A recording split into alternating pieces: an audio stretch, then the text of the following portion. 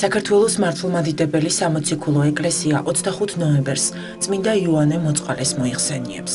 წმინდა იოანე ალექსანდრიელი პატრიარქი კვიპროსზე დაიბადა. მეუღლისა და შვილების გარდაცვალების შემდეგ იგი ბერად აღიკვეცა და მკაცრ მარხვასა და ლოცვას მიეცა. სულიერ მახვაწლმა წმინდა მამას შორს გაუთქვა სახელი.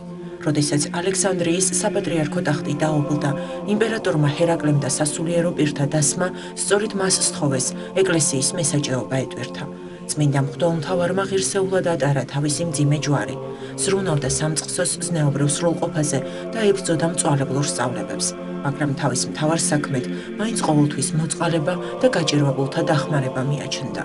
საპატრიარქო ტახტზე ასვლიდან მცირე ხნის შემდეგ წმინდა იოანემ გადაწყვიტა ქვეყანაში ღარიბთა აღწერა გაეკეთებინათ და ყოველდღიურად მათი საკვებით მომარაგება დაიწყეს. პატრიარქი კვირაში ორი დღე ეკლესიის კართან იჯდა. ის ყოველს გულმოდგინედ უსმენდა და ეხმარებოდა. უკვირდათ ნეტარი მამის ასეთი მოთმინება. ის კი ამბობდა: თუ მე ყოველთვის შემიძლია მიუმართო ჩემს უფალს იესო ქრისტეს და ლოცვით გამოვითხოვო რაც მსურს, ჩემთან მოსვლა რატომ უნდა ავუკრძალო მოყვას. კვირაში სამჯერ ის ავადმყოფებს სტუმრობდა და სნეულებს შეეწეოდა. როდესაც სპარსელებმა იერუსალიმი დაანგრიეს და მოსახლეობა ტყვე წაიყვანეს, წმინდა პატრიარქმა საეკლესიო ხაზინის დიდი ნაწილი გაიღო მათ გამოსასყიდად. ერთხელ იმ ადამიანებმა, რომლებიც წმინდანს მოწყალების გაცემაში ეხმარებოდნენ, ჰკითხეს: ზოგჯერ აქ შეძლებული ოჯახებიც მოდიან და მათაც სხვებივით უნდა დავეხმაროთო? წმინდანმა უპასუხა: თუ ქრისტეს მონახარ, მოიქეცი ისე როგორც ქრისტემ გვიბრძანა. ისე გაეცი მოწყალება, რომ თხოვნელს სახეში არ შეხედო. ჩვენ ჩვენსას კი არა, ქრისტესას გავცემთ. ქრისტესე მდიდარი კი ვინ შეიძლება იყოს? მართლაც პატრიარქი ბევრს გასცემდა, მაგრამ უფალი ყოველთვის გამოაჩენდა ხოლმე კეთილ ადამიანებს, რომელთა შემოწირულობებითაც თითქმის დაცარიელებული ხაზინა კვლავივსებოდა. წმინდა იოანეს საოცარი თავმდაბლობითაც გამოირჩეოდა. ერთხელ მან ცოდვით დაცემული ღვთისმსახური ეკლესიიდან განკვეთა. წმინდა პატრიარქი ძალიან განიცდიდა ამ ამბავს. საფრთხო ლიტურგიის დასრულების შემდეგ წმინდანი გამოვიდა საკურთხევლიდან, თავისთან დაუძახა შემწოდე შვილს, მუხლებზე დაემხო მის წინაშე და საჯაროდ შენდობას თხოვა. შეძრწუნებული ღვთისმსახური სინანულში ჩავარდა და მოგვიანებით კეთილმსახური მღვდელიც გახდა. ერთხელ საერო ხელისუფალმა გლახაკთა გამოსარჩლებისთვის იგი შეურაცხყო. იმავე დღეს მზის ჩასვლის წინ ნეტარმა იოანემ კაცი გაგზავნა თავის შეურაცხმყოფელთან და შეუთვალა: მალე მზე ჩავა, შევრიგდეთ. ხელისუფალი ისე შეძრა ამ სიტყვებმა, რომ არა მარტო შეურიგდა, არამედ აღთქმა დადო, რომ ყოველგვარი შუღლის თავიდან აცილებას შეეცდებოდა ცხოვრებაში. წმინდა იოანეს, კაცრ ასკეთსა და მლოცველს, სიკვდილის მარადიული ხსოვნა გააჩნდა. მან თავისი ჩასასვენებელიც წინასწარ შეუკვეთა, მაგრამ ოსტატებს უბრძანა, არ დაესრულებინათ იგი და ყოველ დღესასწაულზე მისულიყვნენ მასთან შეკითხვით: მუშაობის დრო ხომ არ დადგაო? ეგვიპტეს ესპარსელთა თავდასხმის დროს წმინდა იოანემ დატოვა ალექსანდრია და თავისი სამშობლოს კვიპროსის გავლით კონსტანტინოპოლისკენ გაეშურა. გზაში ნეტარს საფრთხო გამოცხადება ჰქონდა. სიზმრის საუჩვენებაში ნათელმოსილი ჭაბუკი წარდგა მის წინაშე და უთხრა: "გიხმობს მეუფე მეუფეთა." პატრიარქი მიხვდა, რომ მისი აღსასრული მოახლოვდა. კონძულ კვიპროსზე მშობლიურ ქალაქ ამათუნში გაჩერდა და მშვიდობით შეხვედრა სული უფალს. ნეტარი იმავე ქალაქში წმინდა ტიხონის სახელობის ტაძარში დაკრძალეს.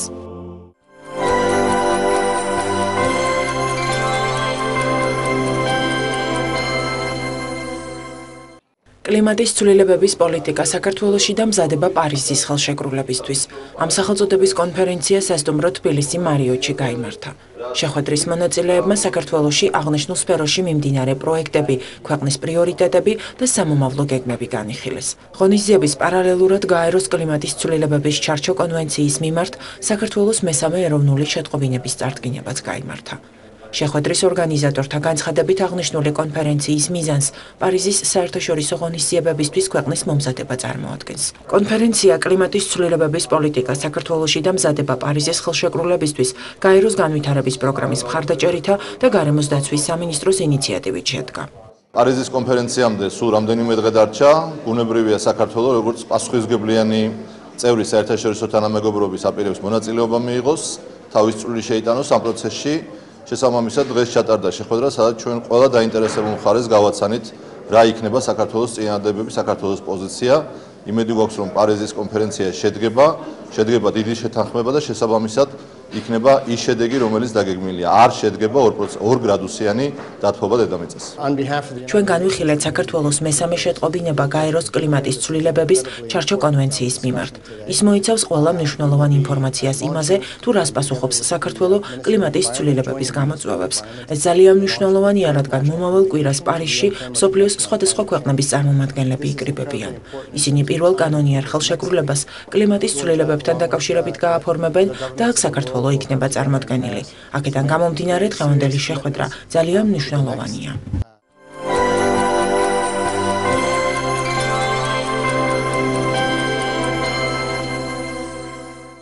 ქართველი მთარგმნელისა და ლექსიკოგრაფის არიანე ჭანტურიას ხსოვნისადმი მიძღვნილი ფილმის წარდგინებას თბილისის სახელმწიფო უნივერსიტეტმა უმასპინძლა. დოკუმენტური სურათი სახელწოდებით არიანე ჭანტურია შეუსებელი სიცარიელე გაზეთ თბილისის უნივერსიტეტის რედაქტორის ნინო კაკულიას ავტორობით გადაიღეს. ფილმი არიანე ჭანტურიას ცხოვრებას, მოღვაწეობას და მისი ოჯახის წევრების ისტორიას ასახავს. პრეზენტაციას უმაღლესი სასწავლებლის პროფესორ-მასწავლებლები, სტუდენტები და სხვა მოწვეული სტუმრები ესწრებოდნენ.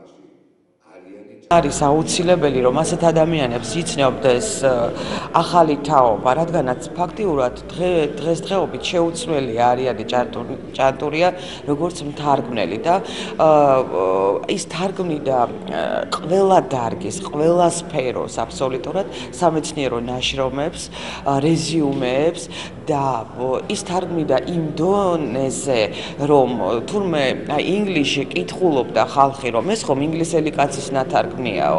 აი ამ დონის პროფესიონალი იყო არიანი ჭატური. დაწლეულები იღვაცა თბილისის სახელმწიფო უნივერსიტეტში. ამავდროულად იგი თანამშრომლობდა საქართველოს მეცნიერებათა აკადემიის მოამბესთან, აღმოსავლეთ ცოდნობის ინსტიტუტთან, ქართოლოგიურ ცენტრთან. თუ კი რაიმე ხარისხიანი მეცნიერება იქნებოდა საქართველოში, მისი თარგმანებით გადიოდა ეს ყველაფერი უცხოეთში. თავდაუზოგავად ემსახურებოდა ქართული მეცნიერების, ქართული კულტურის პოპულარიზაციას, განუზომელია მისი ღვაწლი.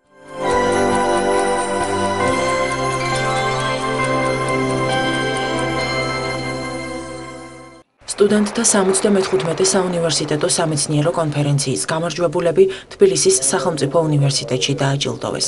ღონისძიების პარალელურად საკონკურსო შრომების წარდგინება გამართა. როგორც შეხვედრაზე გახდა ცნობილი სტუდენტთა შრომების კრებულს, რომელიც ყოველწლიურად გამოიცემა, წელს ციგნის საერთაშორისო სტანდარტული ნომერი მიენიჭა. უნივერსიტეტის რექტორის ლადო პაპავას განცხადებით, ძალიან მნიშვნელოვანია მსგავსი კონფერენციები, რადგან ისინი სტუდენტების პროფესიულ განვითარებას უწყობს ხელს. ტრადიციულია 75-ია და სწორედ ასე აღიზარდა აღიზარდოს მომავალი მეცნიერი. საყურადღებო რომ ამ პროექტში მონაწილეობდა 500-ზე მეტი სტუდენტი. ეს საკმაოდ კარგი მაჩვენებელია, თუმცა თუ კიდევ უფრო დაინტერესდება სხვა სტუდენტობა, ჩვენ ამას მიესალმებით. ასეთი კონფერენციები ხშირად ტარდება უნივერსიტეტში, რომელიც ძალიან კარგ საშუალებას გვაძლევს სტუდენტებს განვითარდეს ჩვენი პროფესიული მიმართულებით, ვისწავლოთ აუდიტორიასთან ურთიერთობა, რაც თავარია გვაძლევს საშუალებას. მოვიძიოთ სხვადასხვა სახის მასალები, მას ვიმუშაოთ ამოუკიდებლად პროფესორ მასალებთან ერთად დავამუშავოთ ეს მასალები და შემდეგ წავიდეთ აუდიტორიის წინაშე, რომელიც ძალიან კარგ შედეგებს მის მომტანია ჩვენთვის როგორც უნივერსიტეტის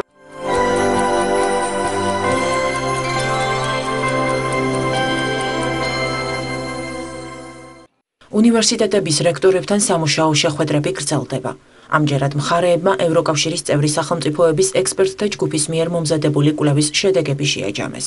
ანგარიშის ავტორებმა წარმოადგინეს თუ როგორ მუშაობს ქართული მეცნიერებისა და ინოვაციური ტექნოლოგიების სისტემები. მხარეებმა აღნიშნული პრობლემების მოსაგვარებლად გარკვეულ ინიციატივებსაც იმსჯელეს. შოთა რუსთაველის ეროვნული სამეცნიერო ფონდი ევროკავშირის და აღმოსავლეთ პარტნიორობის ქვეყნების 18 ორგანიზაციასთან ერთად ჩართული არის ევროკავშირის მიერ დაფინანსებულ პროექტში აღმოსავლეთ პარტნიორობის ქვეყნების მეცნიერების, ტექნოლოგიისა და ინოვაციის სისტემის საერთაშორისო თანამშრომლობის ქსელში.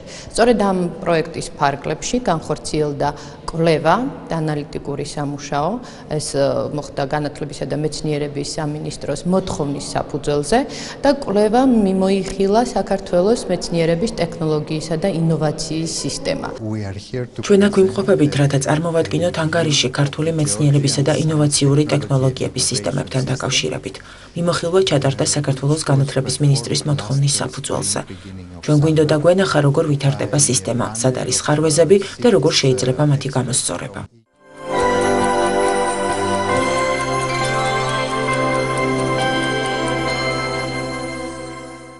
...150-ათე საჯარო სკოლა მაკაკი წერეთლის დაბადებიდან 175 წლის საიუბილეო თარიღთან დაკავშირებით ღონისძიებას უმასპინძლა. სკოლის უფროსი კლასის მოსწავლეებმა სცენაზე ქართველი მწერლისა და პოეტის შემოქმედება გააცოცხლეს. წარმოდგენა მაკაკის ცნობილი ლექსები, პოემები და პროზა სრულად მოიცვა. დადგმა ქორეოგრაფიული ნომრებით გაფორმდა. 150-ათე საჯარო სკოლა მსგავსი სახის შემოქმედებით კულტურულ საღამოებს ხშირად მასპინძლობს.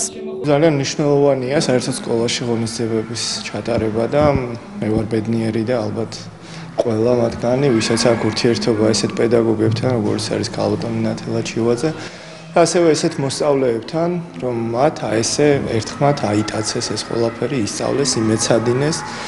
დაახლოებით ერთი თვეა რაც ამ სპექტაკლზე მუშაობენ და ნუ შედეგი თქვენ თავადაც იხილეთ. გამზდელი არ მქონდა თემატურად არ ეწმოდა და თვითონ ვაიმე გამზდელის garaშე როგორ შეიძლება აკაკიო და გამზდელის თვითონ ჩამამატებინეს ისე რომ მე დიდი სურვილით მუშაობდა. მე მინდა განსაკუთრებული მადლობა უთხრა 150-ე საჯარო სკოლას მის კოლექტივს და ქალბატონ ნათელა ჩივაძეს რომელმაც აი ეს დღევანდელი დღე მოამზადა.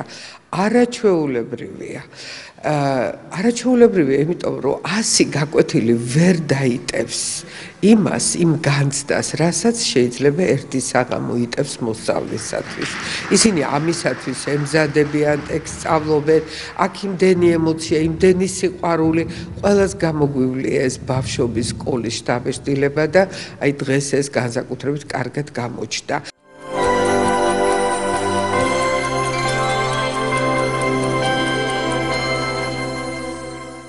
მოსწავლე ახალგაზრდობის სასახლეში ენისა და კულტურის საერთაშორისო ფესტივალის რესპუბლიკური ტური გამართა. კონკურსში მონაწილეობა მიიღეს თბილისის მუსიკალური სკოლის მოსწავლე ვოკალისტებმა, რომლებმაც ჟიურის წინაშე ქართულ ენოვანი სიმღერები შეასრულეს. შემდეგ ეტაპზე გამარჯვებული მონაწილე მშობლიური ენისა და კულტურის პოპულარიზაციას რუმინეთში მოახდენს.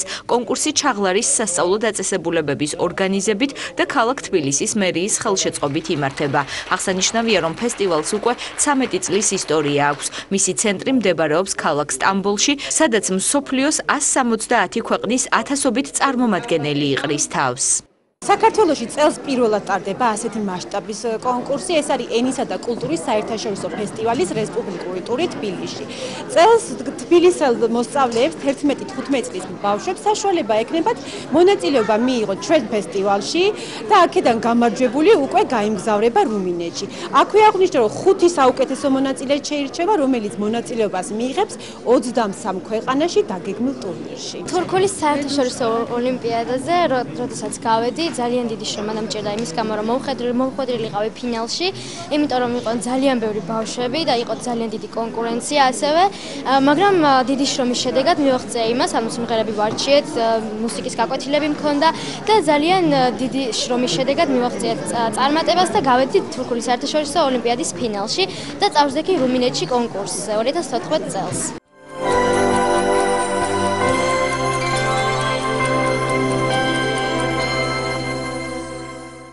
სპორტისა და ახალგაზრდობის საქმეთა მინისტრმა ტარიელ ხეჩიკაშვილმა ლეგენდარულ მოჭადრაკეს ნონა გაფრინდაშვილს უმასპინძლა და სენიორთა მსოფლიო ჩემპიონატზე მოპოვებული წარმატება მიულოცა. შეხვედრას დაესწრო ჭადრაკის ფედერაციის პრეზიდენტი გია გიორგაძე. იტალიის ქალაქ აკუიტერმეში ჩატარებულ სენიორთა მსოფლიო ჩემპიონატზე ნონა გაფრინდაშვილმა მსოფლიოს ჩემპიონის ტიტული მოიპოვა. მან 65 წელს ზემოთ გამართულ ქალთა ჩემპიონატზე 9 ტურში 7 ქულა დააგროვა და ოქროს მედლის მფლობელი გახდა. მინდა მიულოც ქალბატონს ბრძოლა გამარჯობა.